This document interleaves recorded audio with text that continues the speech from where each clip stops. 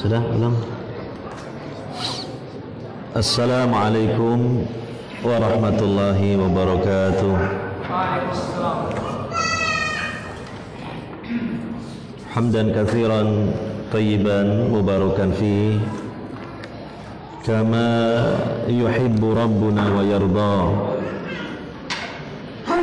Ashhadu an la ilaha illallah wahdahu la syarika lah. وأشهد أن محمدا عبده ورسوله صلى الله عليه وعلى آله وصحبه أجمعين. ومن تبعهم بإحسان إلى يوم الدين. وقال سبحانه وتعالى في كتابه الكريم wa'bud rabbaka hatta ya'tiyakal yaqin. Al-ayah amma ba'd. Hadirin wal hadirat para bapak para ibu saudara-saudari sekalian yang semoga selalu mendapatkan rahmat dan hidayah dari Allah Subhanahu wa taala Alhamdulillah pada kesempatan malam hari ini kita dipilih oleh Allah Subhanahu wa taala berupa kehadiran kita di tempat yang mulia ini dan kita melaksanakan aktivitas-aktivitas yang mulia di tempat yang mulia ini yaitu melaksanakan berbagai ibadah kepada Allah yang maha mulia. Tujuannya supaya kita dimuliakan oleh Allah subhanahu wa ta'ala di dunia ini terlebih kelak di akhirat. Oleh karenanya mari kita berusaha memiliki niatan yang mulia. Tiada lain adalah ikhlas karena Allah subhanahu wa ta'ala.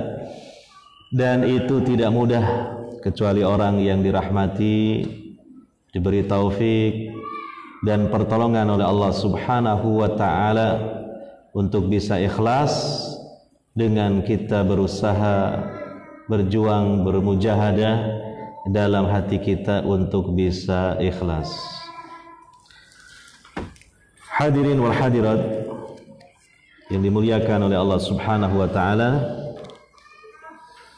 kita lanjutkan ibadah kita setelah sholat yaitu menuntut ilmu agama. Memahami wahyu dari Allah subhanahu wa ta'ala. Tentu ini adalah sesuatu yang luar biasa. Karena yang kita bahas ini wahyu dari Allah subhanahu wa ta'ala. Berupa ayat-ayat Al-Quran berupa sunnah sabda ataupun perbuatan Nabi Sallallahu Alaihi Wasallam yang menjadi syariat kita, menjadi panduan dalam hidup kita. Maka semoga Allah Subhanahu wa taala senantiasa menancapkan semangat dalam mempelajari wahyu tersebut dan melaksanakan wahyu tersebut di muka bumi ini sampai nyawa kita dicabut oleh Allah Subhanahu wa taala. Hadirin wal hadirat yang dimuliakan oleh Allah Subhanahu wa taala. Kajian kita pada kali ini sebagaimana biasa terjadwal di majelis ini membahas kitab Riyadus Salihin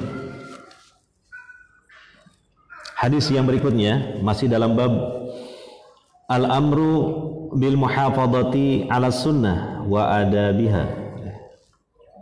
Perintah menjaga sunnah dan adab-adabnya.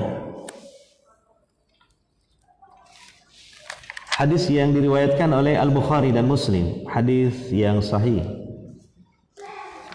Dan juga hadis ini disebut riwayat muttafaq alaih dari sahabat Ibnu Abbas radhiyallahu anhuma qala. Beliau mengatakan qama fina Rasulullah sallallahu alaihi wasallam bimau'idatin. Rasulullah sallallahu alaihi wasallam berdiri di tengah-tengah kami menyampaikan nasihat menyampaikan mau'idah faqal maka beliau berseru ayuhan nasu wahai sekalian manusia berarti ucapan ini tujukanlah ke dalam diri kita masing-masing karena kita manusia. Innakum masyuruna ilallahi ta'ala sesungguhnya kalian semua akan dikumpulkan menuju Allah Ta'ala. Hufatan uratan gurlan. Dalam kondisi tidak beralas kaki telanjang bulat tidak ada selembar benang pun jangankan kain selembar benang pun yang menempel di tubuh. Gurlan dalam keadaan tidak berkhitan. Sebagaimana ketika kita baru lahir. Nah. Kemudian Nabi SAW membacakan ayat 104 dalam surah Al-Anbiya. Kama bada'na awala khalqin nu'iduh wa'dan alaina inna kunna fa'ilin Sebagaimana kami telah memulai di awal penciptaan demikian juga kami mengulanginya Di awal penciptaan kita terlahir tergelar ke bumi ini, ke dunia ini dalam kondisi telanjang, tidak beralas kaki, dan belum berkhitan. Siapa pun kita yang sekarang ini mungkin memiliki alas kaki yang mahal, yang indah, pakaian yang mahal, yang indah, ketika terlahir semuanya sama, tidak memiliki apa-apa. Ketika berangkat ke alam dunia ini semua sama seperti itu. Dan ketika kembali dari kehidupan dunia ini berangkat menuju Allah dikumpulkan oleh Allah di mahsyar dalam kondisi seperti itu juga. Wa'dan alaina sebagai janji yang kami akan penuhi. Inna kunna fa'ilin sesungguhnya kami benar-benar melaksanakan janji kami. Kemudian Nabi SAW melanjutkan sabdanya, Ala wa inna awwalal khalaiki yuksa yaumal qiyamati Ibrahim alaihi salatu wassalam. Ketahuilah sesungguhnya makhluk yang pertama kali diberi pakaian pada hari kiamat adalah Nabi Ibrahim alaihissalatu wassalam. Ala wa innahu sayuja'u birijalin min ummati. Ketahuilah sesungguhnya dia akan didatangkan dengan beberapa kelompok dari umatku. Fayukhadhu bihim datas shimal. Kemudian mereka ditempatkan di sebelah kiri Fa'akulu maka aku berkata, aku bertanya, Ya Rabbi ashabi, wahai Rabbku, mereka itu adalah sahabat-sahabatku. Fayuqalu kemudian dikatakan, Innaka la tadri ma ahdathu ba'daka. Sesungguhnya engkau tidak mengetahui apa yang mereka ada-adakan sepeninggal engkau. Fa'akulu kama qala al-'abdus salih maka aku mengatakan sebagaimana seorang hamba mengata, seorang hamba yang saleh mengatakan wa kuntu alaihim syahidam ma dumtu fihim dan aku ini menjadi saksi atas mereka selagi aku bersama mereka. Sebagaimana yang tertera di dalam Al-Quran surah Al-Ma'idah ayat 117 dan 118 fayuqalu li kemudian dikatakan kepadaku innahum lam yazalu murtaddina ala aqabihim mundu farabtahum. Sesungguhnya mereka itu senantiasa murtad. Kembali ke belakang leher-leher mereka atau ke uh, tumit-tumit mereka aqab ya, ke tumit-tumit mereka. Semenjak engkau berpisah dengan mereka di dalam kitab saya ini saya membawakan kitab syarah dari Syekh Muhammad Ibnu Saleh Al Utsaimin cukup panjang syarahnya itu dia menunjukkan keluasan ilmu beliau di dalam menjelaskan sabda Nabi SAW yang sebenarnya sabda ini tidak panjang, singkat saja. Artinya juga di situ ada beberapa ilmu, pelajaran dan faedah yang dapat dinukil, dipetik dari sabda Nabi Sallallahu Alaihi Wasallam ini.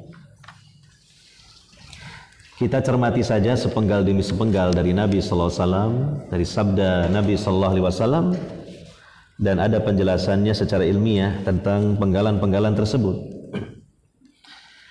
Diawali dari apa yang dituturkan oleh sahabat Ibnu Abbas sebagai perawi pertama dari hadis ini seorang sahabi yang mendengar langsung sabda Nabi Sallallahu Alaihi Wasallam dan dalam kondisi serta seperti apa Nabi Sallallahu Alaihi Wasallam ketika itu dalam menyampaikan sabdanya ini. Beliau menuturkan qama fina Rasulullah sallallahu alaihi wasallam bi mau'izati. Rasulullah sallallahu alaihi wasallam berdiri di tengah-tengah kami dengan menyampaikan nasihat. Maka ini dipahami oleh para ulama bahwa termasuk kebiasaan Nabi Shallallahu Alaihi Wasallam bahkan termasuk dari petunjuk Nabi Shallallahu Alaihi Wasallam beliau menyampaikan khutbah beliau menyampaikan ceramah di hadapan para sahabat beliau dan ceramah beliau itu yang biasa disampaikan kepada para sahabat dikategorikan menjadi dua kategori. Yang pertama, kategori ceramah beliau itu disebut dengan al-khutab ar-ratibah. Ceramah-ceramah yang sifatnya itu teratur. Yang sifatnya itu memang suatu ceramah dalam ibadah-ibadah tertentu. Dan yang kedua, ceramah beliau bisa dikategorikan dengan apa yang diistilahkan al-khutabul aridah. Ceramah-ceramah yang tidak teratur yang mana beliau sampaikan di saat diperlukan untuk menyampaikan ceramah. Itu. Ya ini kalau kita ingin mencermati tentang khutbah-khutbah atau ceramah-ceramah Nabi Shallallahu Alaihi Wasallam. Di antara contohnya untuk kategori yang pertama yang disebut dengan al khutabur rotibah ceramah-ceramah yang teratur yang memang berkaitan dengan ibadah tertentu contohnya adalah khutbatul jumu'ah khutbah Jumat ya Demikian khutbatul Aid. Khutbah dalam salat Aid baik Idul Fitri maupun Idul Adha. Ya. Di mana di situ ada perbedaan dengan khutbah Jumat. Kalau khutbah Jumat itu disampaikan sebelum sholat, sedangkan khutbatul Aid disampaikannya setelah sholat. Dan kalau khutbah Jumat, khutbahnya disela-selai dengan duduk sebentar, sehingga disebut duduk di antara dua khutbah. Tetapi kalau khutbatul Aid tidak ada. Kemudian juga khutbatul istisqa. Khutbah yang disampaikan dalam salat istisqa. Salat meminta hujan, Nabi juga berceramah. Kemudian khutbatul kusuf. Ceramah yang disampaikan dalam salat gerhana dan di sini disebut kusuf para ulama menjelaskan ada juga khusuf. Ada kusuf ada khusuf. Kalau kusuf itu gerhana matahari. Kalau khusuf itu gerhana bulan. Dan kenapa di sini disebut khutbatul kusuf saja? Karena sepanjang hidup Nabi SAW Rasulullah SAW hanya satu kali saja mengalami atau mendapati gerhana dan gerhananya gerhana matahari bukan gerhana bulan. Maka disebut khutbatul kusuf. Ya, sekalipun ini para ulama memperbincangkan tentang hukumnya tapi pendapat yang kuat ini hukumnya sunnah saja menyampaikan ceramah yang mengiringi sholat gerhana itu Nah inilah di antaranya contoh-contoh yang masuk kategori khutab al-khutab ar-ratibah itu.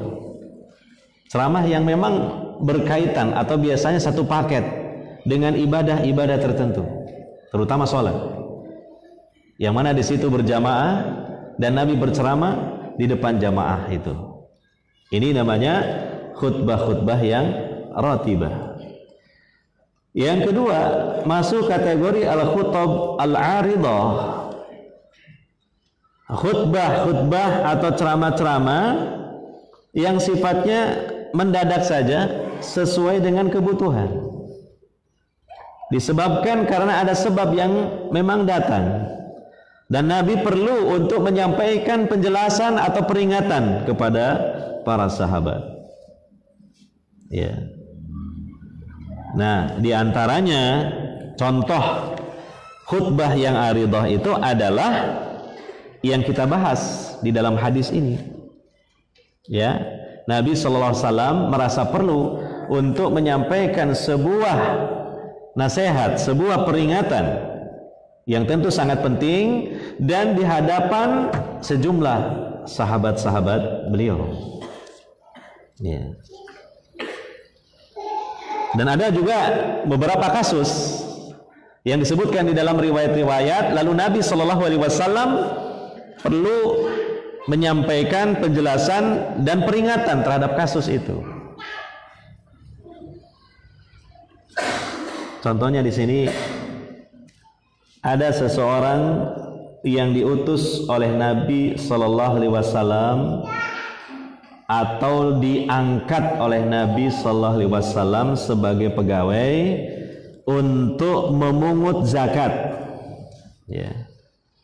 Jadi semacam amil zakat gitu. Ya. Nah dia kemudian menjalankan tugas itu memungut zakat dari para muzaki atau orang-orang yang dikenai kewajiban zakat. Ya. Kemudian singkat cerita, faraja'a ilal Madinah wa ma'ahu ibil. Petugas pemungut zakat ini setelah selesai melaksanakan tugasnya memungut zakat, dia kembali ke Madinah, tetapi dia membawa seekor unta. Ya. Artinya seekor unta ini ya di luar dari zakat yang dipungut. Dan orang ini menjelaskan dengan mengatakan hadhihi lakum wa hadhihi uhditu ilayya atau uhdiyat ilayya. Wahadi uhdiyat ilayya. Ini untuk kalian, ini harta zakat. Tetapi ini ibil ini, seekor onta ini, ini hadiah untuk saya.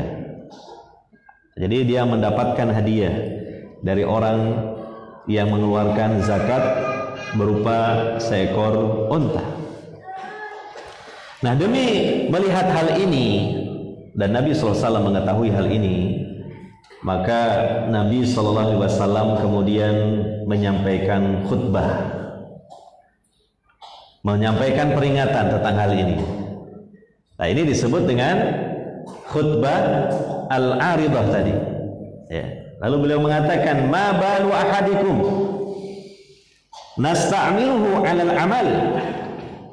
Bagaimana keadaan salah seorang di antara kalian ini saya mengangkat dia untuk menjalankan sebuah tugas. Apa tugasnya tadi?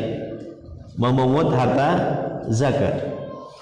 Fayarji'u wa yakulu kemudian dia kembali dan mengatakan hada lakum wa uhdiyali. Ini harta ya untuk kalian. Ini harta zakat. Tetapi yang satu ini yaitu seekor unta ini adalah hadiah untuk saya. Kemudian Nabi mengatakan fahalla jalasa fi baiti abihi wa ummihi fayanduru ayyuhda lahu amla maka kata Nabi SAW mengapa seandainya dia itu duduk saja di rumah bapaknya atau di rumah ibunya kemudian dia melihat apakah dia akan mendapatkan hadiah itu atau tidak? Jawabannya apa? Tentu tidak dapat. Tentu apa? Tidak dapat. Dia dapat hadiah itu karena ketika dia ditugaskan oleh Rasulullah SAW untuk memungut zakat. Dan dia ambil dan dia telah mendapatkan upah. Ya termasuk ambil itu kan dari delapan asnaf dari delapan golongan. Dalam surah At-Taubah ayat 60 yang berhak mendapatkan pembagian zakat zakat mal. Jadi dia sudah dapat bayaran dia sudah dapat upah. Kenapa dia mau menerima hadiah? Dalam bingkai tugas itu dia waktunya sedang terikat dengan penugasan itu yang sudah diberi upah tersendiri dari tugas itu. Kemudian dia mendapatkan hadiah. Artinya apa ini peringatan dari Nabi SAW bahwa hal ini tidak boleh. Ya. Ini yang dikenal sekarang dengan istilah apa? Insentif bukan suap. Insentif. Kalau suap itu namanya riswah. Dan untuk riswah ada hukum tersendiri. Nabi mengatakan ar-rasi la'anallahu ar-rasi wal murtasi Allah melaknat yang menyuap dan yang disuap. Ini bukan suap. Tapi inilah yang dikenal sekarang ini dengan istilah insentif.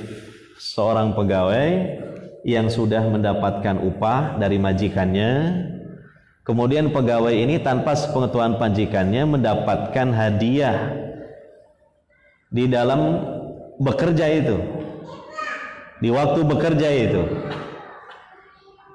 dari konsumen atau dari siapa sajalah yang memang mendapatkan faedah dari pekerjaan ini dan dia sudah membayarnya tapi dia menambahi dengan memberikan hadiah. Memberi istilahnya uang keringat gitu. Nah, ini insentif. Dan ada hadis khusus tentang masalah ini di antaranya ini. Jadi ini tidak boleh. Dan berapa di antara kita tidak mengerti hal ini?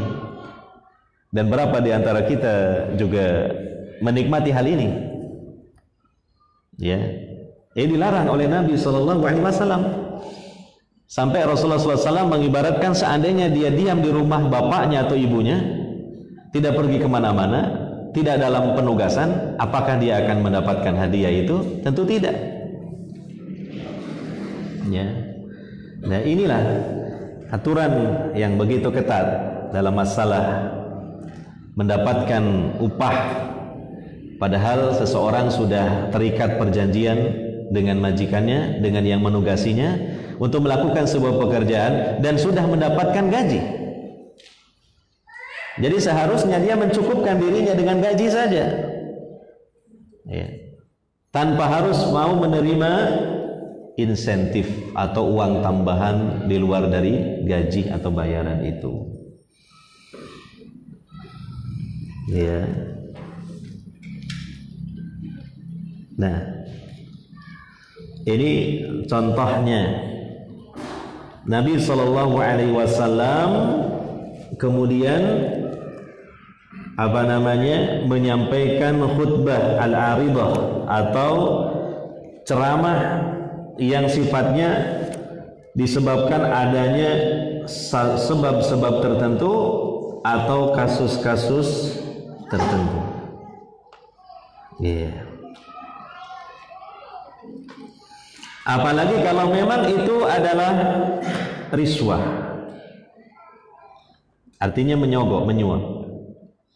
Di mana menyogok ini tentu seseorang memberi sesuatu yang berharga kepada seorang pegawai dengan catatan meluluskan keinginannya padahal itu melanggar aturan. Nah, tentu itu lebih lebih parah lagi. Ya, Kemudian di antaranya lagi contoh yang lain lah. Saya tidak bacakan semuanya. Di mana Nabi Shallallahu Alaihi Wasallam kemudian menyampaikan khutbah aridah. Ada seorang wanita dari Bani Mahzum di mana dia dititipi barang ya dia dititipi barang oleh seseorang.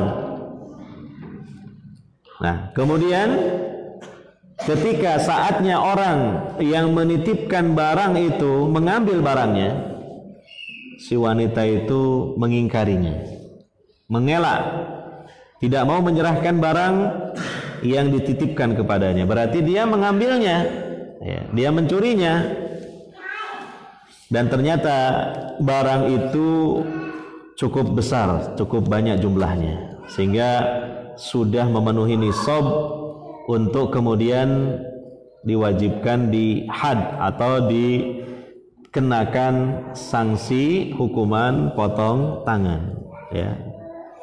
Karena itu adalah salah satu hudud Islamiyah atau undang-undang Islam dalam hal pencurian yang melebihi dari nisabnya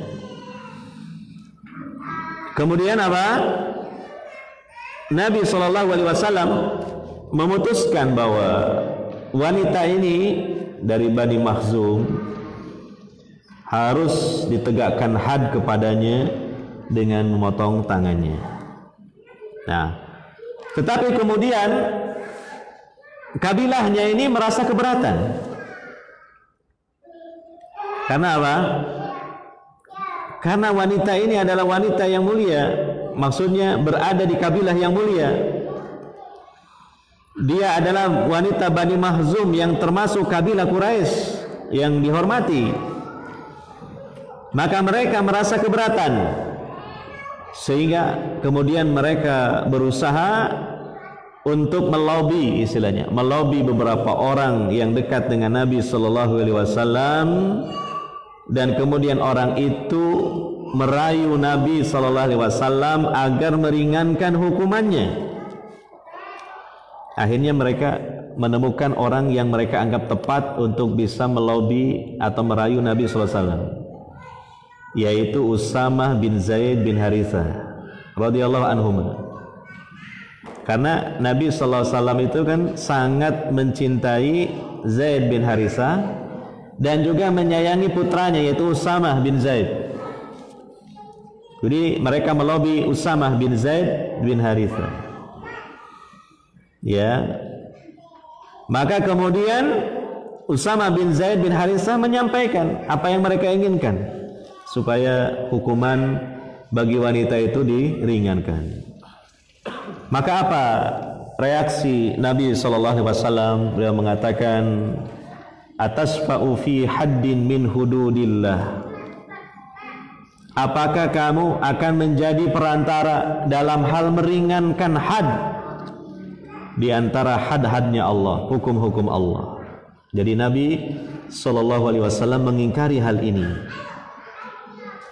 Ya. Kemudian setelah itu Nabi Shallallahu Alaihi Wasallam berkhutbah, berceramah di hadapan para sahabat, di hadapan manusia ketika itu. Beliau mengatakan ala wa inna man kana qablakum kanu idza saraqa fihim asy-syarifu tarakuhu wa idza saraqa fihim ad-dha'ifu aqamu alaihi al-hadd wa akhbaru anna hadha huwa alladhi ahlaka al-umam as-sabiqah Ketahuilah sesungguhnya orang-orang sebelum kalian apabila seorang bangsawan mencuri di tengah-tengah mereka, maka mereka tidak menegakkan hukuman karena bangsawan. Pilih bulu ya. Pilih bulu istilahnya, bulunya yang yang banyak ya tidak ditegakkan hukuman. Maksudnya karena yang mencuri ini seorang bangsawan, ya, mereka merasa segan dan mereka merasa takut kalau ditegakkan hukum untuk bangsawan ini. Tetapi apabila yang mencuri di tengah-tengah mereka itu orang yang lemah, orang yang tidak punya kedudukan, tidak memiliki status sosial, atau juga mungkin ekonominya lemah, barulah mereka menegakkan hukuman untuk orang ini. Maka Nabi SAW mengabarkan inilah salah satu sebab umat-umat dahulu dibinasakan oleh Allah Subhanahu wa taala. Kalau dalam istilah orang sekarang itu penegakan hukumannya itu seperti pisau, tumpul ke atas, tajam ke bawah. Ya. Kalau atasnya tumpul, maksudnya kalau orang-orang pembesar, para pejabat melakukan tindak kriminal, dibiarkan tidak diberi sanksi, bahkan tidak berani memper, memperkarakan karena takut diperkarakan oleh mereka. Itu. Tapi kalau yang melakukan tindak kriminal ini orang-orang bawahan, rakyat jelata yang tidak punya kekuatan, lemah, ditegakkan hukuman. Nah ini Rasulullah SAW memberikan peringatan dalam khutbah aridah beliau ini jangan sampai dilakukan oleh umat beliau. Belajar dari sejarah pengalaman orang-orang terdahulu inilah salah satu sebab Allah membinasakan kaum-kaum terdahulu. Ya. Penegakan hukuman tidak dilaksanakan dengan adil. Nah di sinilah kalau menjadi pemimpin ini memang banyak ujiannya. Di antara ujiannya apa? harus berani tegas dalam menegakkan hukuman ditegakkan keadilan yaitu dan ini sampai Nabi Shallallahu Alaihi Wasallam kemudian juga mengatakan ya wa aymullah law anna Fatimah binta Muhammadin sarqat laqata'tu yadaha. Demi Allah seandainya yang mencuri itu adalah Fatimah binti Muhammad. Seandainya Fatimah binti Muhammad mencuri saya sendiri yang akan memotong tangannya. Ini bukan sekedar istilahnya isapan jempol saja ini. Pasti seandainya tapi tidak terjadi. Seandainya Fatimah itu mencuri dan sudah memenuhi nisab untuk ditegakkan hukuman berupa potong tangan Nabi akan memotong tangan Fatimah. Coba Padahal Fatimah itu putri kesayangan beliau. Bukan lagi kerabat. Putri langsung, putri beliau sendiri. Ya. Sekiranya mencuri akan dipotong tangannya. Nah inilah manusia paling sempurna ya di antara hamba-hamba Allah. Bukan hanya beliau memiliki jiwa pemaaf, lemah lembut, penyayang, tetapi juga tegas dan adil di dalam menegakkan hukum-hukum Allah Subhanahu wa taala. Dan itu salah satu karakteristik dari pemimpin yang ideal. Ya, pemimpin yang ideal itu tidak selalu lemah lembut. Ya, tidak selalu merasa te tidak tega. Nah, tetapi lihat-lihat dulu dalam hal apa? Kalau dalam hal yang memang harus tegas dan di situ menunjukkan keadilan serta wibawanya hukum, maka dijalankan dengan sesempurna-sempurna, sebaik-baik. Itu contohnya khutbah aridah. Jadi ada dua macam, dua kategori khutbah Nabi Shallallahu Alaihi Wasallam. Maka ini juga termasuk hadiun Nabi SAW, petunjuk Nabi SAW. Ada yang sifatnya rotibah berkaitan dengan ibadah tertentu. Ada yang sifatnya sewaktu-waktu karena ada tuntutan untuk menyampaikan khutbah. Karena ada satu sebab yang memang dirasa perlu untuk menyampaikan apa? khutbah. Oleh karena itu kesimpulannya bagi kita sebagai umat beliau kita juga demikian. Khutbah itu ya ada yang rotibah, ada yang dipersilahkan kita menyampaikan ceramah khutbah dalam hal-hal yang kita merasa perlu menyampaikan khutbah. Ya, terutama pemimpin. Nah, mungkin ketua takmir ya, dan yang lain-lainnya yang memiliki wilayah kepemimpinan lah. Mulai dari yang kecil sampai yang besar. Mungkin kepala rumah tangga. Ya karena ada satu kasus yang ini perlu dikasih peringatan dan harus diketahui oleh semua anggota keluarganya. Maka dikumpulkanlah semua keluarganya. Istrinya seluruh anak-anaknya. Ya kemudian diberi ceramah diberi apa? Nasihat gitu dan ini jangan kita anggap loh, ini bid'ah. Kok ada ceramah? Ceramah itu ya khutbah Jumat. Apalagi khutbah Idul Fitri Idul Adha, khutbah sholat gerhana, khutbah sholat istisqa. Ini kok tiba-tiba dia ceramah? Ah, ah? Khut, oh iya khutbah nikah. Ah, khutbah nikah ini masuk yang mana nih kira-kira? Hmm? Rotibah ya? Rotiba ya sekalipun itu sunnah. Nah, tidak wajib gitu. Nah itu yang rotibah masuknya. Ya. Nah, ada pun khutbah yang lain ya silakan. Gitu. Kalau memang dirasa perlu. Nah, mungkin nanti ada pertanyaan bagaimana khutbah dalam sholat taraweh? Nah itu. Karena sebentar lagi mau Ramadan banyak di masjid-masjid. Nah, terutama di Indonesia ini tarawehnya itu ada ceramahnya. Uh, diselingi dengan apa? Ceramahnya itu kan? Nah begitu.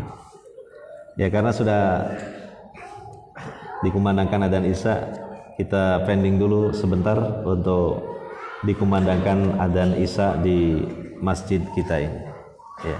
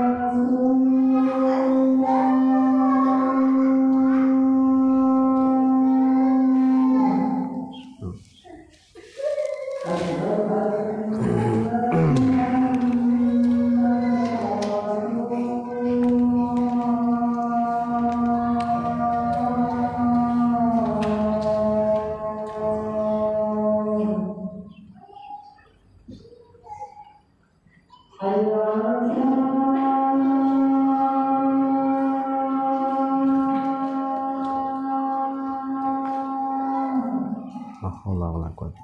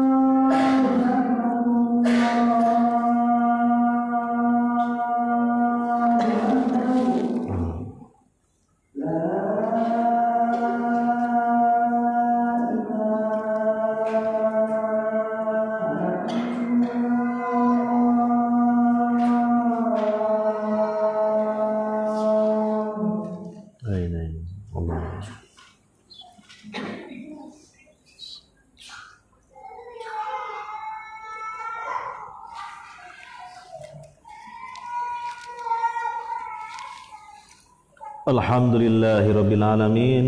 Wassalatu wassalamu ala nabina Muhammadin Wa ala alihi wa sahbihi ajma'in. Amma ba'd.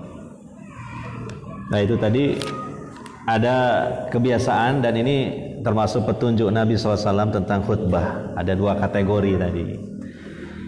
Sehingga silakan Kalau memang kita misalnya ya merasa perlu untuk menyampaikan nasihat atau peringatan yang sifatnya harus diketahui orang banyak, ya kita berkhutbah. Gitu. Ya, dan khutbah ya, mukaddimahnya tidak harus pakai inalhamdulillah itu para ulama menilai sunnah saja sunnah saja barangkali kadang terlalu panjang orangnya keburu pergi gitu Begitu amma ba'du tolah toleh sudah pergi semua. Nah, padahal yang intinya belum tersampaikan gitu. Iya, itu sunnah saja ya. Yang inalhamdulillah dan kemudian menyampaikan beberapa ayat dalam Al-Qur'an itu tentang ketakwaan ya. Itu sunnah. Ya, dan Nabi SAW memang uh, sering memang sebelum khutbah itu beliau menyampaikan mukodimahnya seperti itu. Ya. Dan bahkan ada juga tambahannya uh, kullu bid'atin dolalah itu. Wa kullu dolalatin finnar.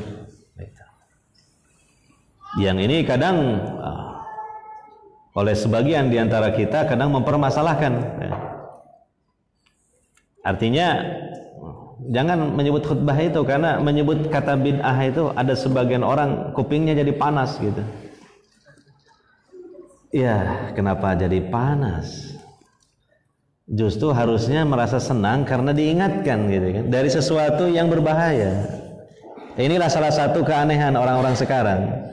Diingatkan sesuatu yang berbahaya malah tidak terima. Coba diulangi kalimatnya. Diingatkan dari sesuatu yang berbahaya tapi tidak terima. Harusnya kan diingatkan dari sesuatu yang berbahaya itu merasa senang dan berterima kasih kepada yang mengingatkan supaya dia selamat tidak jatuh ke dalam sesuatu yang berbahaya itu. Tapi itulah salah satu keanehan orang sekarang. Ya diingatkan sesuatu yang berbahaya tidak terima. Ya. diingatkan syirik eh, tidak terima Padahal syirik itu sesuatu yang sangat berbahaya. Eh, jika kita Bani Adam manusia ini bahkan jin ini, jin seluruh jin ini jatuh ke dalam kesyirikan sampai mati belum bertaubat, tempat tinggalnya itu di mana? Jahannam khalidina fiha abada. Iya. Bukankah ini sesuatu yang menakutkan? Iya. Bukankah ini sesuatu yang mengerikan? Naam. Tapi ketika disebut dalam rangka mengingatkan tidak terima. Ah, ini aneh. Ini orang sekarang aneh. Gitu. Ini aneh yang tidak baik, bukan masuk guroba ini. Orang-orang guroba orang aneh itu yang baik itu. Katu balil guroba. Iya, coba. Ini terjadi di lapangan soalnya. Nah, dan saya sering juga dapat pesan khusus dari takmir, Pak Ustadz, nanti kalau khutbah Jum'ah di sini jangan pakai khutbah itu ya. Jangan yang ada kulubin atin dolalah itu. Ya. Saya kadang ya tersenyum, kemudian kalau memang tidak mau, saya jangan dijadwal di situ aja Pak lah. Gitu. Kok diatur-atur khutbah begini? Bukankah Nabi mengatakan fa inna khairal haji haji Muhammadin sallallahu alaihi wasallam. Ya. Sebaik-baik petunjuk adalah petunjuk Nabi SAW. Itulah petunjuk Nabi SAW. Seringnya beliau itu memulai khutbahnya dengan itu tadi. Yang terakhirnya ada kullu bin atin dolalah wa kullu dolalatin finna gitu. Ya. Justru ini yang harus didengung-dengungkan dan dipublikasikan disosialisasikan, dimasyarakatkan. Karena syirik bid'ah, ya, bid'ah eh, ini adalah hal yang sangat membahayakan agama manusia dan agama jin. Ya, karena yang dibebani syariat ini jin dan manusia. Orang jatuh ke dalam kesesatan dengan kata lain berarti jatuh dalam kebid'ahan. Apa pun bentuk kesesatan itu pasti kebid'ahan. Maka Nabi mengatakan kullu dolalah. Setiap bid'ah itu adalah apa? Eh, sesat gitu. Iya Pak, jangan dibilang bid'ah lah, dibilang tidak ada tuntunan. Ya di bahasa Arab kayaknya agak susah gitu ya. Apa ya? Gitu. Ya, itu mirip senada dengan jangan bilang orang lain kafir, bilang non muslim gitu. Jadi begitu. Jadi ini yang perlu dipahami dengan baik ya, supaya tidak salah paham. Kenapa memperingatkan dari hal yang berbahaya tidak disukai? Kenapa? Padahal yang berbahaya itu yang harus tidak disukai peringatannya disukai harusnya. Kan begitu. Orang yang cerdas kan begitu. Orang yang cerdas kan begitu. Oke. Ah. Itulah tentang khutbah tadi. Adapun tentang khutbah di salat tarawih ya ini juga diperbincangkan kan oleh ulama-ulama sekarang ya. Ada yang mengatakan ya bid'ah ya karena memang Rasulullah atau para khulafa dalam sholat tarawih mereka tidak diselingi dengan apa? Dengan ceramah gitu loh. Ada yang lain kalau tidak salah saya Soleh Fauzan ya mengatakan ya yaitu kalau mau sesekali saja dan jangan dianggap syarat. Jangan dianggap wajib, jangan dianggap kalau tarawih tidak ada ceramahnya, tarawihnya tidak sempurna gitu. Karena pertimbangannya ketika manusia berkumpul, di mana keadaan mereka juga selain Ramadan jarang hadir di majelis taklim perlu mendapatkan siraman ilmu dan nasihat gitu.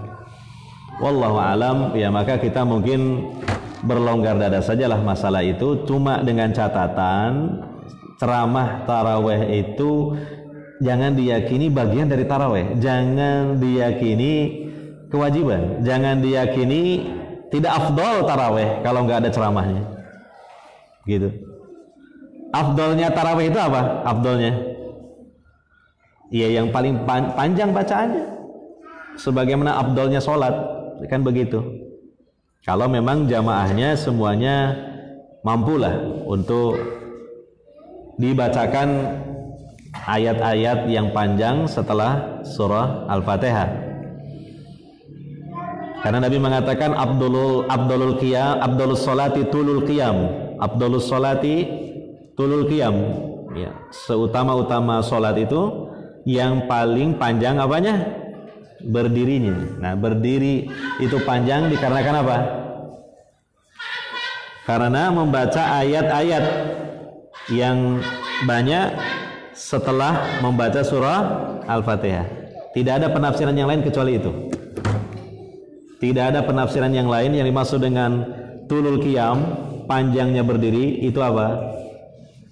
Banyaknya ayat-ayat yang dibaca setelah membaca surah Al-Fatihah gitu. Tetapi itu tadi ya karena melihat juga uh, situasi makmum yang sekiranya memang mereka kuat. Tapi kalau ada yang lemah, ada yang sedang kakinya bengkak kena asam urat, ya. Kalau dipanjangkan, wah bisa geblak mereka itu. Dan kita tahu misalnya jadi imam ya, maka dipertimbangkanlah itu. Ya. Nah itu tentang masalah taraweh. Saya Ramadan tahun lalu juga pernah menyampaikan lah sholat taraweh, ceramah tarawehnya itu menyoal tentang hukum ceramah taraweh. Gitu. Dengan kesimpulan itu tadi jangan dianggap itu bagian dari taraweh yang itu tuntunan. Oh kalau nggak ada tarawehnya nggak sesuai tuntunan. Enggak malah tuntunannya itu artinya hadisnya tidak ada ya. Kemudian jangan menganggap kalau taraweh tanpa ceramah tidak afdol kayak gitu. Jadi ceramahnya cuma itu saja sehingga setelah selesai ada yang protes. Tuas tak tunggu-tunggu ceramah ternyata membahas ceramah taraweh gitu. Nah iya. Karena perlu dijelaskan itu gitu. Iya. Nah, mungkin kurang elok lah kalau diperpanjang ini sarahnya hadis ini karena waktu ya. Sudah cukup malam. Ya karena kita juga uh, teringat kembali bab sebelumnya itu loh. Apa fil iktisadi fit ya dalam kitab Riyadus Salihin bersikap pertengahan, bersikap sedang-sedang dalam melaksanakan apa? ketaatan. Iya kan? Bab sebelumnya betul itu. Iya. Bab ke-14. Uh, berarti bab se sebelumnya lagi karena bab 15 al muhafadzah alal a'mal ya berarti bab ke 14 ini kita kan bahas bab ke 16 nah, itu di bab 14 disebutkan al-iktisad fi ta'ah ya, ya biasa. Ini salah satu gejala sebagian guru atau penceramah pengennya sih ceramah terus gitu ya sepuas-puasnya gitu ya.